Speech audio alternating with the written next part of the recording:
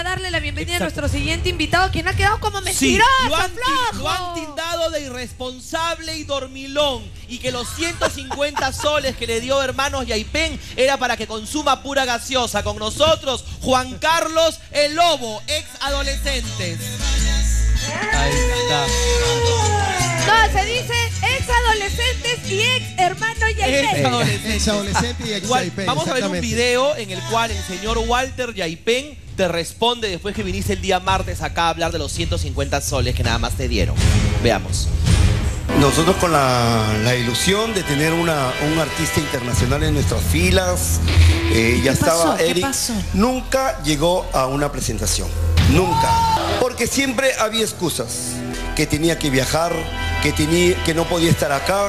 Eh, perdimos un contrato del 18 donde nosotros quedamos mal. El día 21 nosotros teníamos un contrato acá en Lima. El 22 no podía, tenía el permiso. Yo le di Teniendo el el permiso. contrato, ¿no? Pepe le dice, vamos porque tiene- tenemos que hacer la presentación. No, mi hermano, tú sabes que yo tengo un contrato el 22. Oye, pero si tú puedes, puedes viajar el, 20 el 22 y puedes trabajar con nosotros. El 21. No, mi hermano, que tengo que descansar. No, mi hermano, ¿qué responde? Pana, Es que ¿cómo la- siempre, no, mi hermano. Bueno, yo voy a responder. Yo estaba en mi casa en Colombia, tranquilazo en mi piscina y en mi jacuzzi, porque Ay, qué gracias a Dios vivo rico. muy bien. Riquísimo. El señor me llama el 16 y me dice, tienes que estar aquí.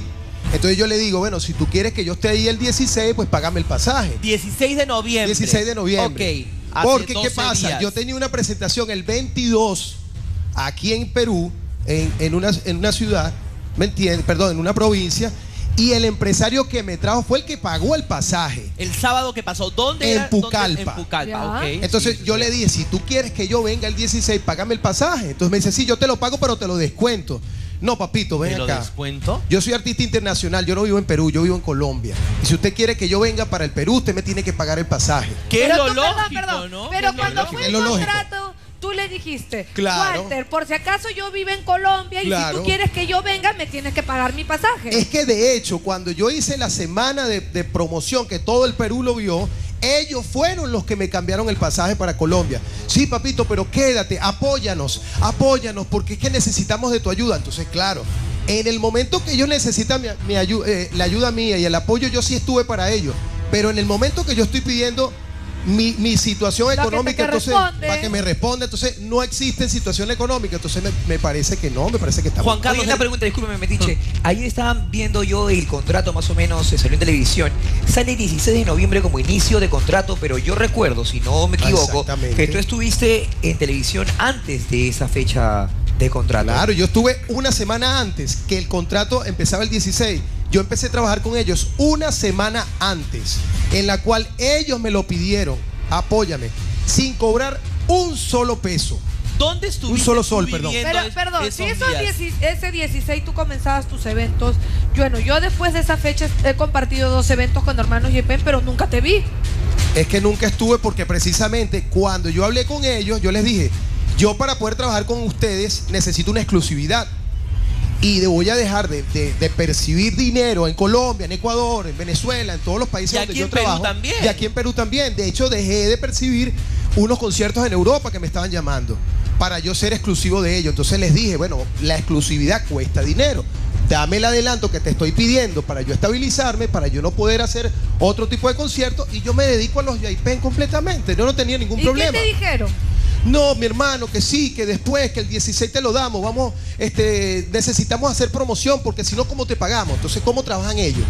Entonces, ellos trabajan de qué manera? Ah, bueno, vamos a hacer radio, prensa y televisión, chapo, chapo, chapo, dinero, chapo, dinero. Ahí sí, si hay conciertos te pago y si no hay conciertos no, te pago. Porque supuestamente ellos tienen que invertir si quieren contratar un artista sea, internacional y claro. exclusivo, inviertes así luego pierdas. Bueno, yo no sé de negocios, pero, mira, pero creo que es así, ¿no? Tú contratas a un jugador de fútbol y tú no le vas a decir, bueno, si tú metes goles, yo te pago. Y si Ya- tú no metes goles, no te pago. Para eso es el empresario y para eso Y te la Claro. arreglas, ¿no? El tema Porque- de, lo- de los 150 soles que se conversaba de los viáticos.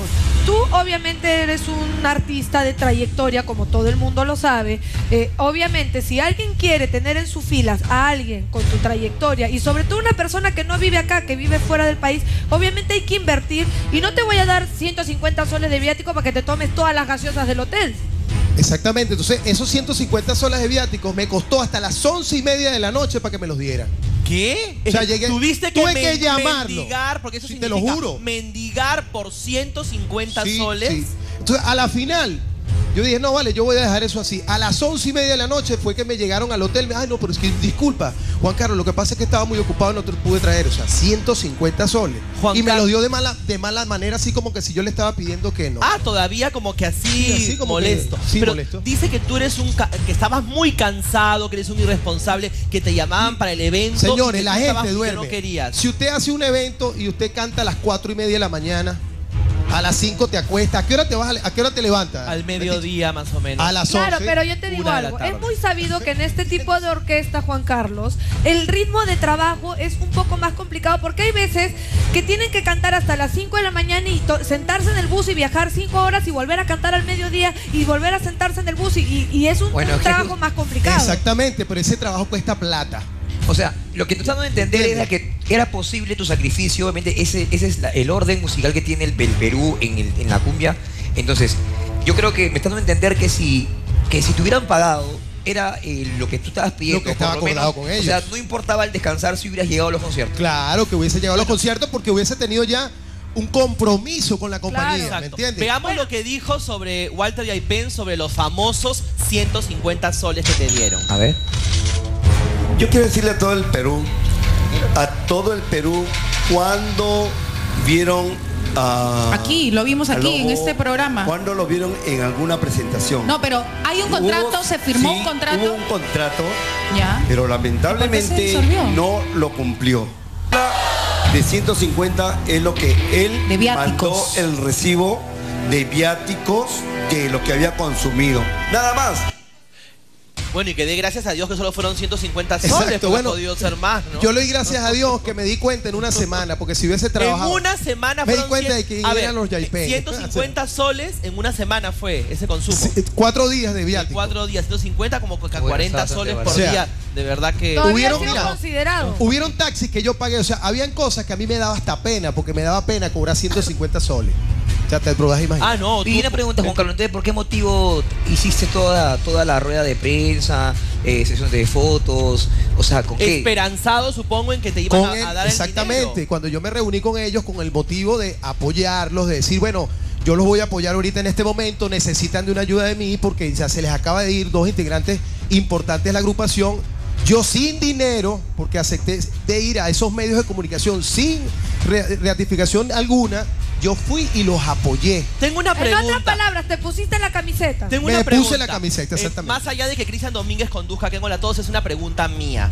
¿Los viste en un plan de desesperación porque ya no estaba Cristian Domínguez, Angelo Fukui y Dimas en la orquesta y por eso como que te decían, por favor, apóyanos, apóy-". Es decir, estaban desesperados por la renuncia, bueno, o la salida de, de Cristian Domínguez, Angelo Fukui y Dimas, y lo pregunto como metiche, como Kurt, es decir, más allá que esté Cristian acá. es que ¿no? claro que sí, obviamente, porque este Cristian y esta gente tenía años en el grupo, entonces obviamente este, hacían falta, pues si se les van tres piezas fundamentales de un equipo, obviamente tiene Se que había buscar- desestabilizado el grupo. Obviamente ¿Y no había crees tú desestabilización. que si se me van fichas importantes en mi equipo, lo, lo más inteligente es obviamente traer a alguien y, y hacer que esa ficha se me quede y por lo menos me ayude a levantar y- o a superar esa situación? Obviamente, yo tenía toda la intención del mundo de trabajar con ellos. Además, hasta a los muchachos les agarré como cariño, a Oliver. Aparte a que se veía Dennis. como un gran jale, es decir, de verdad que yo lo vi como un gran jale. Oye, Es perdón, decir, pero tienes una trayectoria súper importante durante muchos años, un artista internacional, porque no solamente cantaste en tu país, sino has viajado por muchas partes del mundo demostrando tu talento. Entonces, obviamente, sorprende mucho que te traten de esa forma. Eso fue, mi impresión fue esa, y no, no tengo nada contra el Perú. Yo amo este país. Desde que yo llegué la primera vez como adolescente, a mí el Perú me ha abierto muchísimo las puertas. Y no, eh, o sea, no tengo nada contra el Perú. Eso es una cosa que quiero decir en cámaras y en televisión. Adoro a este país. Este país no tiene la culpa de tener empresarios como el señor Walter que eh, les gusta jugar con la gente y les gusta explotar a, los- a los personajes y después no, no, no pagarles y después no hacer las cosas que, que- que ellos ofrecen. La última vez que llegaste yo te pregunté, porque obviamente tú haces tu descargo, se opina de acuerdo a lo que tú hablas, y te pregunté si tenías miedo que él salga y te diga y te demande también por incumplimiento de contrato. Bueno, pero si, si él me va a demandar, entonces yo lo demando a él también porque él no cumplió también. ¿Qué pasó en el aeropuerto? Porque habló algo de que te fueron a recoger, una persona de su, de su producción fue a recogerte al aeropuerto. ¿Te negaste en algo? No, para nada. Lo que pasa es que la movilidad me fue a buscar al aeropuerto, pero el pasaje no lo pagaron ellos. El pasaje lo pagó otro empresario. Entonces, claro, trajo. ellos se estaban aprovechando de la situación Ah, el, el empresario que te había contratado para el 22. para el 22 en El de Pucallpa. Pucallpa. Ya. Entonces, él se estaba aprovechando de ese pasaje también. ¿Me entiendes? Porque ellos no pagaron ni ¿Y, medio y de ese qué pasaje. pasó entonces ahí cuando tú sentiste que él se quería aprovechar de ese pasaje? No, sencillamente me dio como, me dio rabia también. Entonces, yo les dije, en la, en la conversación les dije, mira, Walter, yo no voy a ir para la presentación porque primero tú y yo tenemos que sentarnos a hablar muchísimas cosas. Una de las primeras cosas que vamos a hablar es lo económico. Yo no voy a hacer absolutamente nada si yo no Fuiste tengo... sincero Fui sincero, no voy a ir para la Bueno, era una negociación en ese momento. ¿Y qué te Exactamente. respondió Walter? No, déjalo así, no, no, no ha pasado nada. Lo que pasa es que no vamos a contar contigo porque tú tienes muchos compromisos afuera. No nos conviene eso, o sea, como que A medio ver, me, entonces me pa- te, utili- palabrearon. te Entonces, ¿para qué? utilizaron ¿Te para, la utilizaron? promo- te utilizaban para la promoción Sí. durante una semana y después pa te dieron una patada en el Exactamente, trasero. exactamente. Ay, Porque Dios. a la final yo le dije, bueno, vamos a hacer una cosa. Yo voy a hablar con el manager mío. Él no tiene ningún problema de que tú, de, de hacer los compromisos que habíamos ya pautado. Dedícate el 100% a los Yaipen y no ha pasado nada. Y se los dije. Y a pesar de eso, me dijeron que no. O sea, me utilizaron. O sea, no me iban a dar el dinero nunca. ¿Has vuelto a conversar de- con, con Walter y han Aipen llamado? después de, bueno, de las llamadas que vi que le hiciste y que, que grabaste con otro programa? Traté de hablar con ellos, traté de, de- de- de cordializar, de reunirme, comunicarnos. Eso fue un domingo. El lunes yo traté de hablar con ellos. Me dijeron, no, no. El lunes no va a haber conversación y no va a haber nada. Ellos fueron los que no quisieron hablar conmigo. Yo quería, yo quería Se hablar. escondieron, Se entonces. escondieron. Pero si ellos ¿Entiendes? te buscaron cuando te necesitaron. Exactamente. Y ellos fueron los que me buscaron a mí. Ellos me escribieron. Yo no los busqué a los Yaipen. Los Yaipen me buscaron a mí. Ok, más allá de los 150 soles que te dieron, ellos tienen una deuda contigo, porque tú has, pro- tú has hecho promoción durante una semana. No, pues lamentablemente no se puede hacer adeudan. eso. Lamentablemente, esa es la diferencia entre un contrato de palabra, que justamente de repente para Juan Carlos es mucho más importante, y, una, y un contrato legal, porque en legal empieza el 16 y la, y la semana que trabajó él no lo va a poder cobrar. O sea, es un tema de palabra, ¿no? Es un tema de palabra, pero es un tema de apoyo también, porque cuando ser, ¿no? yo los apoyé a ellos, yo pienso que en el momento que yo lo necesité también me tenía que haber apoyado. Ok, Juan Carlos, ¿qué, para terminar, ¿qué le dirías al señor Walter Yaipen y a la orquesta, hermanos Yaipen? Bueno, a los muchachos, toda la suerte del mundo, hermano, ustedes no tienen la culpa. Este, al señor Walter, que sigan sus éxitos. A mí me va muy bien, gracias a Dios. Estoy en los primeros lugares en Radio Panamericana, estoy en los primeros lugares también en Radio Mar. Tus Gra- números de contrato que están ahí a ver. Mi léelos. número de contacto son 979-104-728 y 954-601-709. Este fin de semana vamos a estar, el, perdón, este fin de semana vamos a estar en Pisco y la semana de arriba vamos a estar en Huancayo. Para que el público sepa. En el Jinja. Vas, como Juan Carlos Lobo como solista. Como solista. Ok, bueno. Gracias, de lo, Juan Carlos. De lo Gracias que se ti, perdió los hermanos Yaipen, porque hubiese sido bacán que estés en el grupo y hubiese Gracias. sido más contrapunteo bueno. con la gran orquesta se te internacional. Claro, más pleito, más pleito. Se te quiere. Más pleito. Gracias, Juan Carlos, por Gracias. acá.